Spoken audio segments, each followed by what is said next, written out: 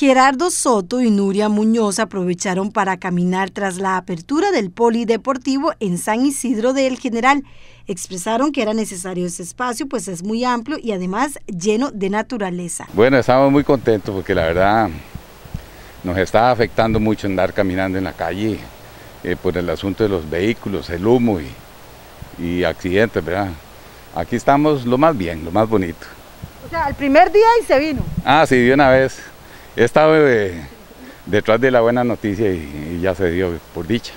Excelente, creo que ya hacía tiempo lo estamos esperando porque este es un lugar que todo el mundo visita, mucha gente viene a hacer deporte y eso que lo hubieran cerrado era algo caótico, incluso para nosotros porque nosotros caminamos y este es el lugar donde siempre venimos, entonces queremos dar, felicitar a la gente que, que realizó la gestión, aunque nosotros hemos estado pendientes hemos estado detrás, pregunte y pregunte, y yo creo que, que hay felicitaciones y aquí estamos felices.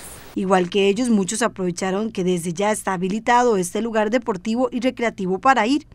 Esto porque con el fin de que la población pueda caminar, correr y recrearse, es que la municipalidad de Pérez Celedón tomó la decisión de darle apertura nuevamente.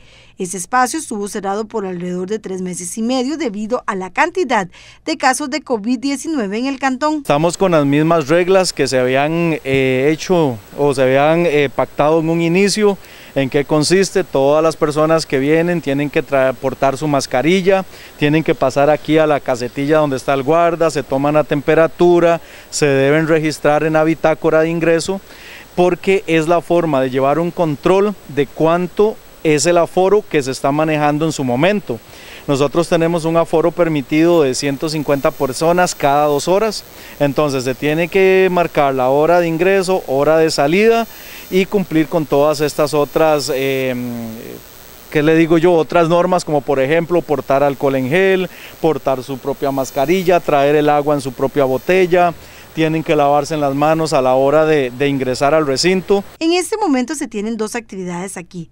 Ahorita tenemos la particularidad que tenemos dos actividades, que es la actividad deportiva y tenemos lo que es el puesto para vacunación.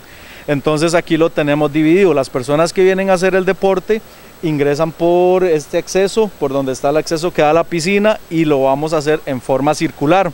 Los que vienen a lo que es vacuna ingresan directamente al gimnasio, ahí se lavan las manos y los esperan los muchachos que nos están ayudando con lo que es atención de filas para posteriormente ingresar a, a lo que es la vacuna. El horario de apertura es de lunes a sábado de 5 de la mañana a 8 de la noche y los domingos de 5 de la mañana a 6 de la tarde. Este, bueno, invitamos a todos los ciudadanos del cantón que, si tienen gusto de venir pueden hacerlo. Contamos con un horario de 5 de la mañana a 8 de la noche de lunes a sábado y los domingos de 5 de la mañana a 6 de la tarde.